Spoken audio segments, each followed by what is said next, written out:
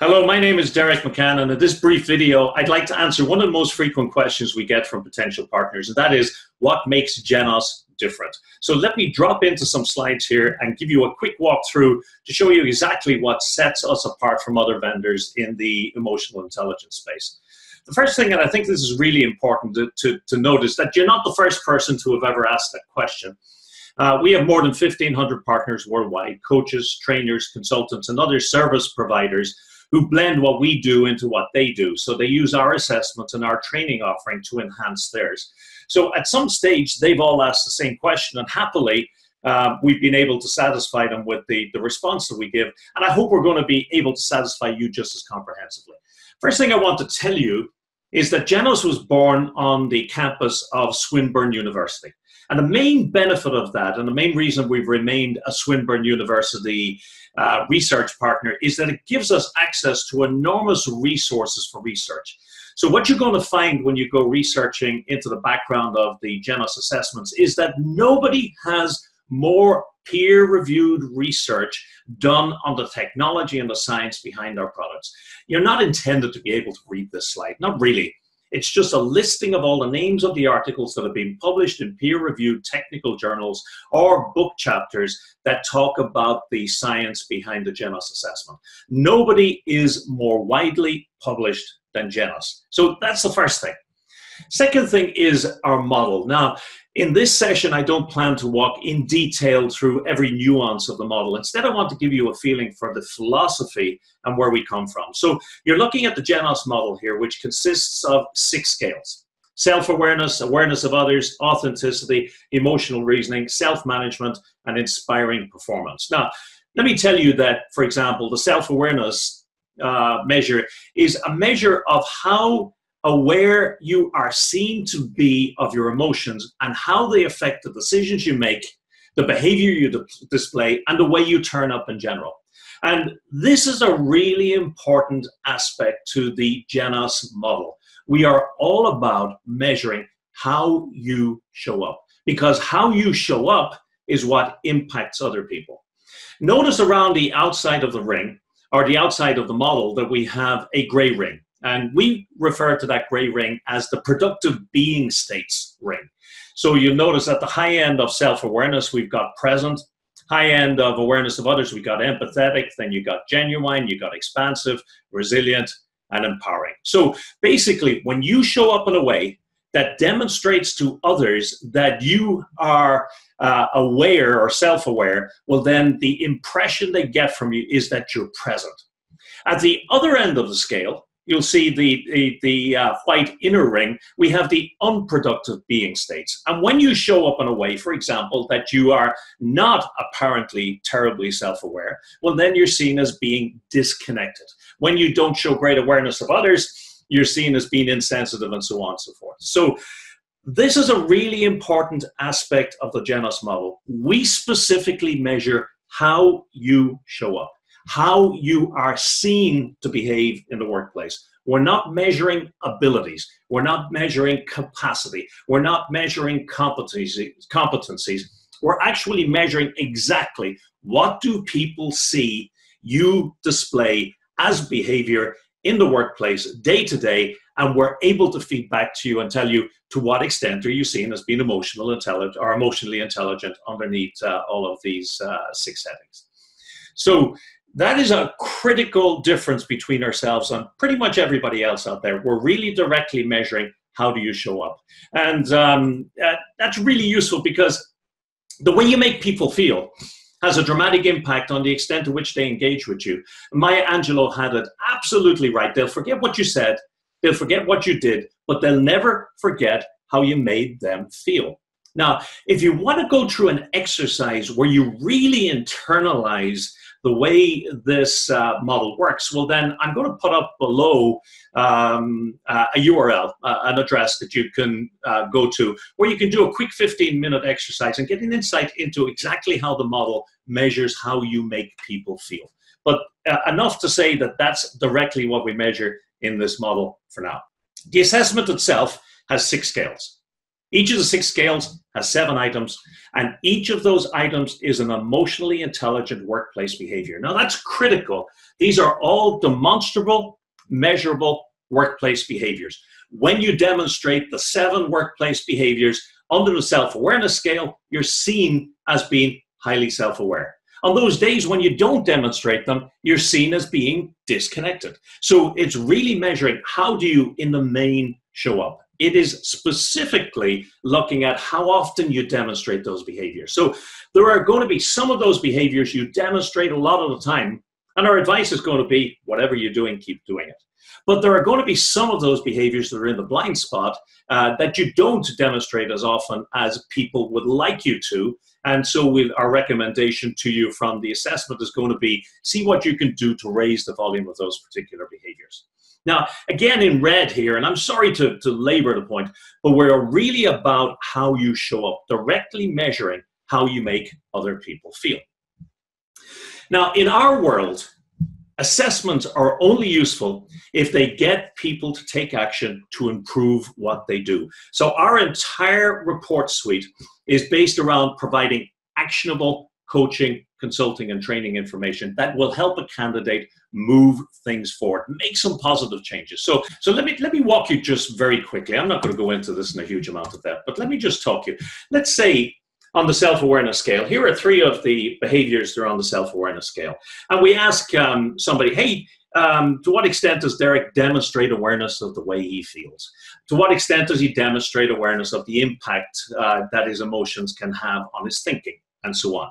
Now, here's what we do when we assess people First thing we do with each of these 42 items is we say, how important is that? So if you can imagine, imagine one of the people that works for you or works with you is completing an assessment on you. And the first thing we say to them is, how important is it that Deiric demonstrates awareness of the way he feels? Now that's really important because for all of the people to feed back on you, we ask them, what do you expect? That's unique. Nobody else does that. And they will rate each of those 42 items on a scale that runs from not at all important up to highly important. So now what we've got for each person who completes this feedback on you is a picture of where they would like you to be, how they'd like you to show up. And believe me, what you're going to see is your boss expects something different to your direct reports, to your peers, to your clients, and other people that might be feeding back. So that's the first thing. And then we say to them, and how does he demonstrate that behavior? How well? Does he demonstrate it an awful lot less than uh, other people, or does he demonstrate it an awful lot more, or is it somewhere in between? So, on one hand, we've said, What do you expect? On the other hand, we say, What are you seeing?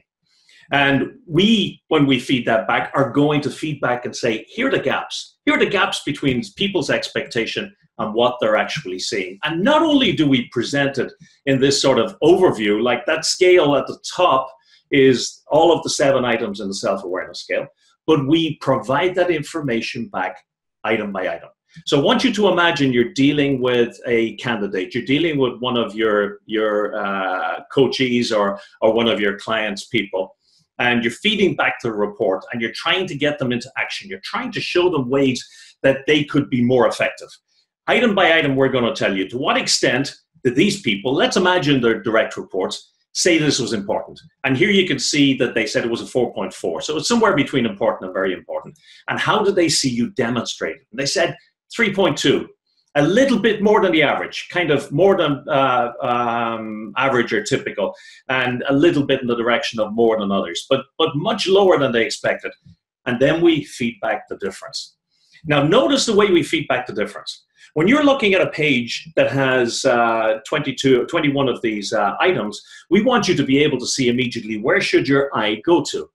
When the gap is a large one, well, then it'll show in red as it does here.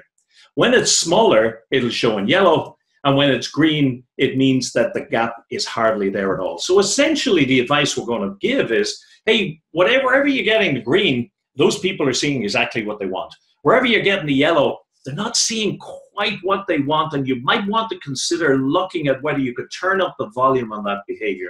Where they're seeing the red, they're saying, hey, there's a dramatic misalignment, a dramatic disconnect. So you're getting that for every one of the 42 items. Pretty unique already. Let me give you one other thing.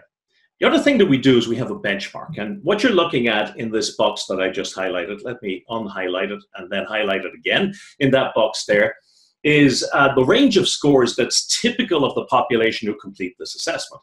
So if your score comes up short of that box, you're saying that your score less than is typical or less than is average um, uh, on this particular item or this particular group. And so we give you item by item. Here you can see you scored below uh, the uh, what is typical of people completing this assessment. On the next one, you can see that side to side, so you were actually inside that average box. And then here we got a, uh, an example of where you were above that standard. So on one side, remember, you've got what do the internal audience your your boss, your your clients, your direct reports, your peers, what do they expect and how are you showing up? What are the differences? And on the other side, you're getting how do you compare to the world at large? Now, with that as a base, our entire report is built around helping you get the candidate into action. Look at the way the reds scream off this page. Look at the way the greens screen off this page. When your eye goes to this page, you know exactly where you should be focusing. And when you go into each of those individual items, they're individual behaviors. If people are not seeing them, it's a question of is it because I'm not demonstrating them or because I have to slightly turn up the volume on them? And the entire report is built around helping you get into action. Our coaching approach, which we train in the certification, trains you how to help candidates to get insights which they note directly in the report, to design actions which they note directly into report, and to sell themselves on the benefit of taking those actions. Because, because once again, we don't see from a philosophical point of view what the point is in putting somebody through an assessment unless you're going to get them to do something different as a result of that. Uh, in supporting that whole philosophy, we also produce for everybody who goes through the assessment, we produce this development tips workbook. And the development tips workbook is kind of a dictionary of ideas key to each of those 42 behaviors that's designed to give you and your, your candidate ideas on actions they can take to raise their game in each of those uh, 42 areas. So we're very, very focused on action and helping people into action. Something else I want to tell you that's absolutely and completely and utterly unique. You may be aware, and if you're not, let me tell you, that uh, more than 50% of the scores that people give on employee engagement surveys come from the relationship they have with their direct manager. Well, we've built uh, an employee engagement survey directly into our emotional intelligence suite. So I want you to imagine this a candidate, let's say he's a team leader, is going through an EI assessment. And as part of that assessment, you're asking his direct reports, his peers, and his boss to feedback on him. If you switch on this option, well, his direct reports don't just feedback on his emotional intelligence, but they answer some additional questions that give you an insight into specifically how are his people engaged with him. So on the one side, you've got how is this person showing up to his direct reports, and then how is that working for them? Nobody else gives you those two key pieces of information in one single sitting assessment. The other thing that makes it kind of unique is our approach to certification. Normally speaking, you would probably have expected that the um, we designed the way we coach back our reports after we design reports. In actual fact, we designed the coaching approach first, and then we designed our reports to fit it. And we use a specific eight step coaching approach to feeding back reports to get people into action. And that's mainly what we teach during the two days of the GENOS certification program. In the first couple of days, we covered the neuroscience of emotions. We covered the theory and the background to the emotional intelligence assessments and all of that sort of technical stuff. And then we spent a lot of time working directly with and rehearsing coaching through these reports. It's a fantastic couple of days, and people come away from it really buzzing. I would encourage you to go onto our site and just have a look at a couple of the videos that just show uh, snippets from some of those um, uh, certification programs. Listen, let me finish by saying that that was really kind of what's the product like? In what way is it different from other products? But let me tell you where we're different from other organizations. Now, this is absolutely it's it's it's definite. Let me let me tell you with no uh, stretch of the imagination, nobody supports their partners better than we do. I'm going to put up uh, an address so you can go and look at a video that'll give you more detail on what I'm about to show you. But let me show you five ways that once you've completed certification, we help you to be successful building Genos into your business.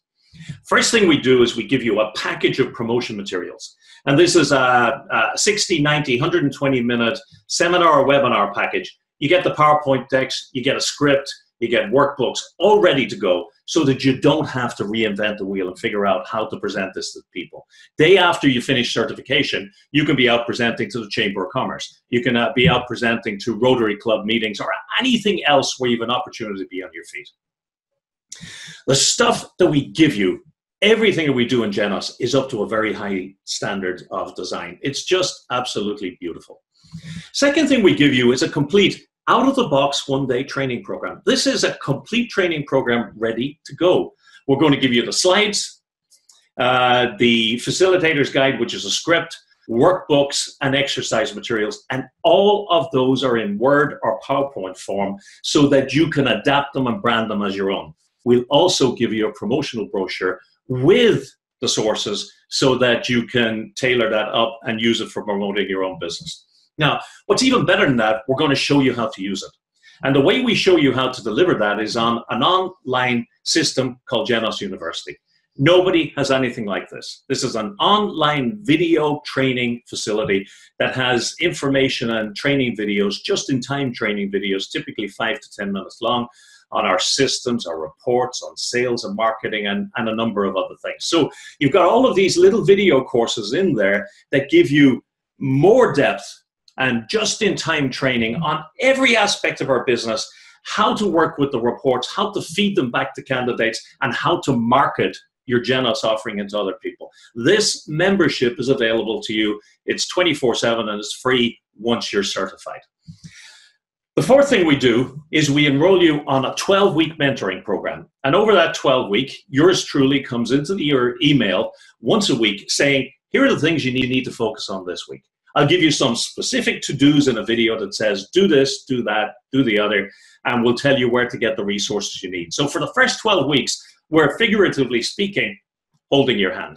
The final thing we do is we give you access to absolutely every piece of literature, every promotional brochure, every presentation that we have that we use to make our own Genos business successful via this members portal. And that sits inside Genos University. So our support for our partners, it is unrivaled. Nobody else provides this, uh, this level of support.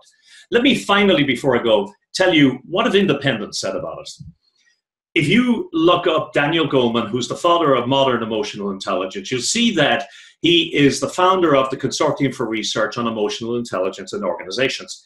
And that organization vets people like ourselves who produce assessments and determines from a review of the technical material, the peer reviewed research, and from the everything that's available, whether or not the, the tool is a serious one.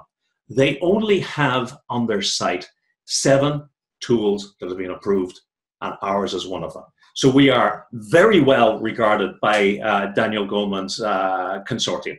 The other thing is the ICF, the International Coaching Federation, reviewed our science. And not only did they bless our program so that if you're a, an ICF coach, you get credits, CCUs, CCEUs, um, uh, for completing the certification, but they also made us a global business partner.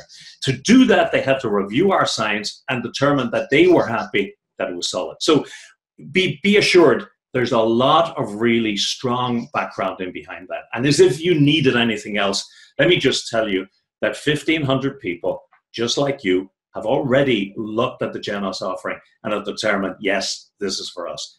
Our goal working with partners is to make them highly successful. That and the science behind our first class products, which are the only ones that come with uh, package training, make us absolutely unique. So I really hope that that has helped to give you some more insight into why I would be delighted to invite you in as, an, as one of our uh, partners worldwide. Don't forget, if you have any questions whatsoever, just reach out on the email below. So thank you for your attention over these past few minutes. Take care.